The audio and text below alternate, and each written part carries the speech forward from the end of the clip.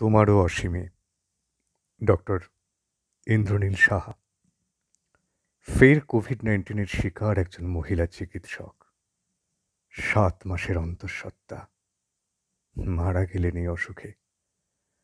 প্রায় প্রতিদিনই একজন ডাক্তারের মৃত্যুর খবর আমাদের কানে পৌঁছবেই।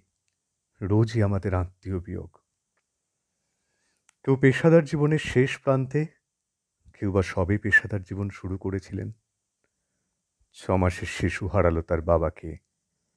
সত্তর বছরের বৃদ্ধার সাথে চিরবিচ্ছেদ হলো তার একমাত্র সন্তানের। দুক্ষেত্রেই হারিয়ে গেল সংসারের ভার পাওয়ার কাঁধটা।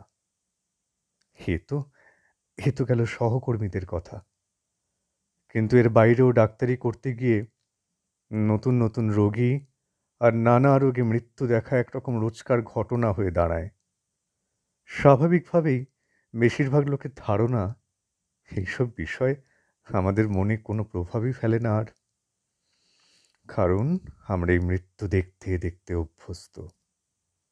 আমাদের কাজ শুরু করার প্রথম দিন থেকে পরামর্শ দেওয়া হয়, এসব দুঃখ, কষ্ট, গ্লানি আমাদের যেন স্পর্শ করতে না পারে।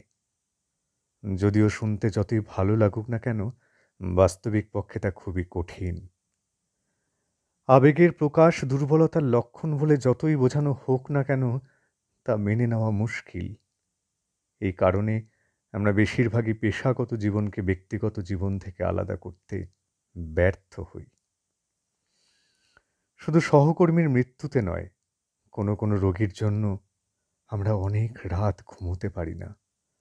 কোনো রোগী সারা জীবন মনে থেকে যায়, বছরের পর বছর আমরা কি করলে কোনটা করলে আরও একটু ভালো পরিষেবা দিতে পারতাম তা নিয়ে ভাবতে থাকি।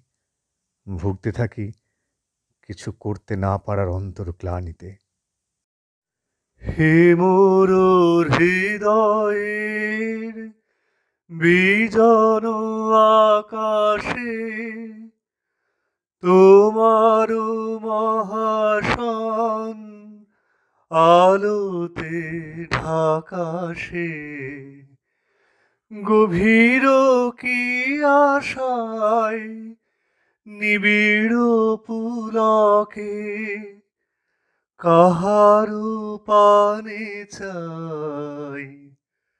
দুবাহু বাড়ায় জীবন সীমানা ছাড়ায় বন্ধু হে আমার রয়েছ দাঁড়ায় জীবন মরণের সীমানা ছাড়ায়